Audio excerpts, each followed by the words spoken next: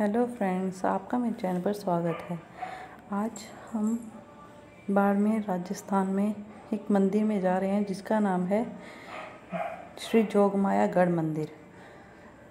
Local लोग इसे गढ़ मंदिर के नाम से भी जाना जाता है। इस यह मंदिर जोगमाया माता का मंदिर है, जो कि एक पहाड़ी पर स्थित है और करीब 1300 फीट की ऊंचाई पर स्थित है। यहाँ पास ही में एक बाड़मेर किला भी है, जो कि टूरिस्ट के लिए सबसे अच्छा प्लेस है।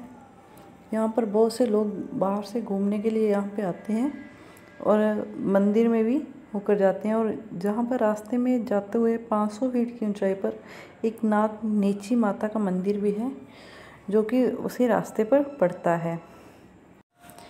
यह मंदिर बाड़मेर, राजस्थान के जो रेलवे स्टेशन है, उससे डेढ़ किलोमीटर दूरी पर है। और ये पहाड़ी की बिल्कुल चोटी पर स्थित है। देखने में ऊपर पहुँचने के बाद जो हमें बाड़मेर जो सिटी है, उसका जो देखने के लिए बहुत ही सुंदर व्यू मिलता है, जो कि देखने में बहुत ही अच्छा लगता है।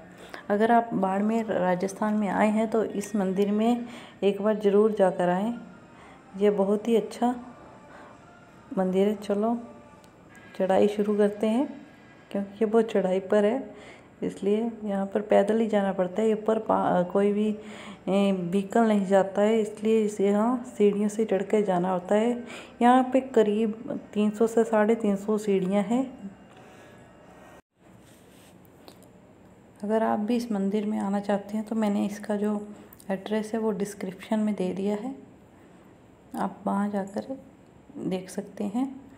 और ऐसी ही और वीडियो देखने के लिए मेरे चैनल को सब्सक्राइब ज़रूर ज़रूर करें और वीडियो को लाइक और कमेंट करके बताएँ कि आपको ये वीडियो कैसी लगी।